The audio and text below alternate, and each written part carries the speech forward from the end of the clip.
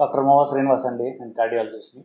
మనం బీపీ గురించి series of videos చేసుకుంటూ వస్తున్నాం. బీపీ బీపీ అంటే ఏమిటి? ఏ నంబర్ దాటితే మీరు బీపీ అంటారు?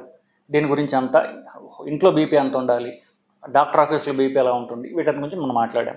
ఇకపోతే బీపీ రావడంలో ఒక ప్రధాన కారణం ఏంటంటే అధిక బరువు. ఊబకాయం అంటారు ఇంగ్లీష్లో ఒబేసిటీ అంటారు. బరువు ఎక్కువగా ఉండడం. సో అరవై నుండి డెబ్భై శాతం మంది బీపీ ఉన్న వాళ్ళల్లో బీపీ ఎక్కువగా ఉండటం అద్దు బరువు ఎక్కువగా ఉండడం వల్ల బీపీ వస్తూ రావడం జరుగుతూ ఉంటుంది.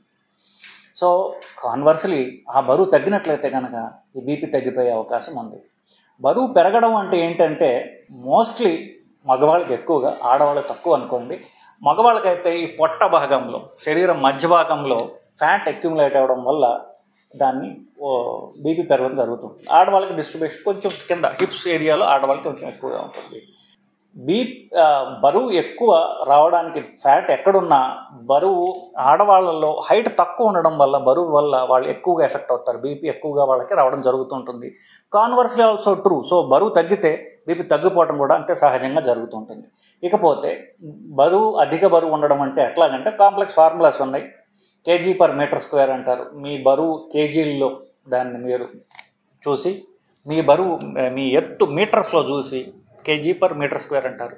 అది అంత కొంచెం కష్టమైనప్పటికీ కూడా మీ హైట్ మీరు చూసుకుని అది సెంటీమీటర్లో చూసుకుని దానిలో వంద తీసినట్లయితే ఎంత వస్తుందో నెంబరు అది మీ ఐడియల్ వెయిట్ ఫర్ ఎగ్జాంపుల్ మీరు ఐదు అడుగులు అనుకోండి అంటే నూట యాభై సెంటీమీటర్లు నూట యాభై సెంటీమీటర్లు బరువు ఎత్తు ఉన్నారు మీరు సారీ ఎత్తు నూట యాభై సెంటీమీటర్లు ఉన్నప్పుడు దాంట్లో వంద తీస్తే యాభై వస్తుంది. సో మీరు యాభై కిలోలు ఉండాలి.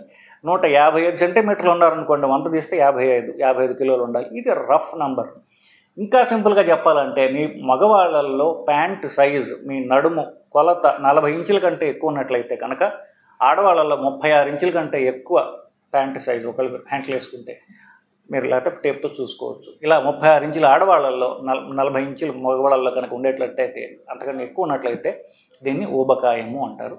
దీని వలన బీపీ వచ్చే అవకాశం అంటూ ఉంటుంది. మిగతా తర్వాత చూసుకుందాం. మనం ఇవాళ ఊబకాయం ఒబేసిటీ వల్ల బీపీ రావడం గురించి మాట్లాడదాం.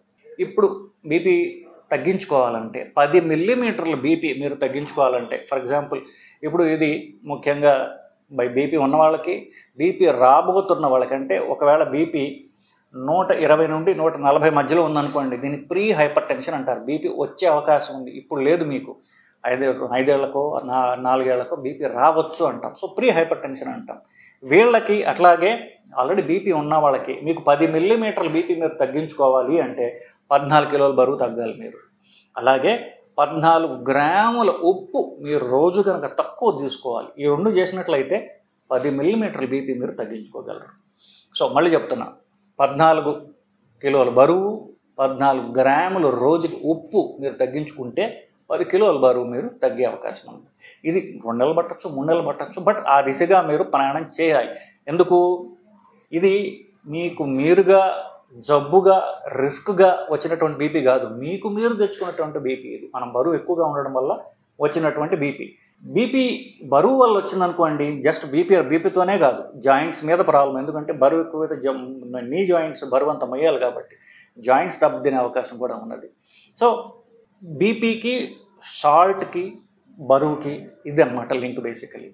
సో దీన్ని తగ్గించడం ఎలాగా? బరువు తగ్గితే తగ్గుతుందని చెప్పాం కదా? సో లైఫ్ స్టైల్ మాడిఫికేషన్ అంటాం. సో కార్బోహైడ్రేట్స్ తిండిలో తీసివేయడం రైస్ ముఖ్యంగా ఎలిమినేట్ చేయడం అలాగే ఎక్సర్సైజ్ కనీసం రోజుకి ముప్పై నిమిషాల పాటు ఐదు నుండి ఆరు రోజుల వారానికి నడవాలి. సో ఇలా చేసినట్లయితే కనుక మీకు మజిల్లో ఉండేటువంటి ఫ్యాట్ తగ్గుతుంది అలాగే బీపీ తగ్గుతుంది. మజిల్లో ఉండే ఫ్యాట్ గురించి ఎందుకు మాట్లాడానంటే బీపీ ఎక్కువ అధికంగా బీపీ ఉన్న వాళ్ళల్లో అరవై నుండి డెబ్భై శాతం మందికి ఊబకాయం వల్ల అని చెప్పాను. అంటే ఫ్యాట్ ఉన్నవాళ్ళు అరవై డెబ్భై శాతం మంది ఈ ఫ్యాట్ ఎక్కువగా ఉండటం వల్ల బీపీ ఎక్కువగా ఉంటుందని చెప్పాం అంతేకాకుండా సన్నగా ఉండే వాళ్ళల్లో కూడా అంటే ఎవరైతే లావుగా ఉండరో సన్నగా ఉండే వాళ్ళల్లో బీపీ అనుకున్నాం కదా వాళ్ళలో కూడా యాభై నుండి డెబ్భై శాతం మందికి ఈ ఇన్సులిన్ రెసిస్టెన్స్ అంటే కండలో మజిల్స్లో ఉన్నటువంటి ఫ్యాట్ ఉండడం వల్ల బీపీ పెరుగుతుంది అనేటువంటి అనేది స్టడీస్లో ఉంది. సో లావుగా ఉన్న వాళ్ళే కాదు సన్నగా ఉన్న వాళ్ళకి కూడా బీపీ ఉన్నట్లయితే మీరు ఎక్సర్సైజ్ చేయడం ద్వారా మీరు బీపీ తగ్గించుకోవచ్చు మీ బీపీ మందుల్ని పక్కన పడేసే అవకాశం ఉంటుంది. దానికి ఎగ్జాంపుల్ నేను. నేను రెండు బీపీ టాబ్లెట్లు వాడేవాడిని. దీనికంటే పదిహేను కిలోలు ఎక్కువ ఉండేవాడిని నేను. జస్ట్ నేను పదిహేను కిలోలు బీపీ బరువు తగ్గాను బీపీ ట్యాబ్లెట్ పక్కన పారేశారు. పక్కన పారేసి కూడా ఆల్మోస్ట్ లైక్ ఇప్పటికీ నాలుగేళ్ళు అయింది జస్ట్ బరువు తగ్గడం ద్వారా రెండు బీపీ టాబ్లెట్ని ఎలిమినేట్ చేయగలిగాను నేను. సో లావుగా ఉన్న వాళ్ళే కాదు సన్నగా ఉన్న వాళ్ళకైనా సరే బీపీ ఉన్నప్పుడు మీరు ఎక్సర్సైజ్ చేయడం ద్వారా మీరు మీ మెటబాలిజంని ఇంప్రూవ్ చేసుకోగలరు బీపీ తగ్గించుకోవచ్చు బీపీ ట్యాబ్లెట్ల నుంచి తీసేయగలరు. ఇది ట్యాబ్లెట్లు లేకుండా బీపీ నుండి మీరు దూరం చేసుకోవడానికి ఇది ఇది మాత్రమే మార్గం. ఎక్సర్సైజ్ మాత్రమే మార్గం. ఎక్సర్సైజ్ చేయండి. కండలో ఫ్యాట్ తగ్గించుకోండి. తద్వారా బీపీ నుండి మీరు దూరం అయ్యే అవకాశం ఉన్నదండి. Thank you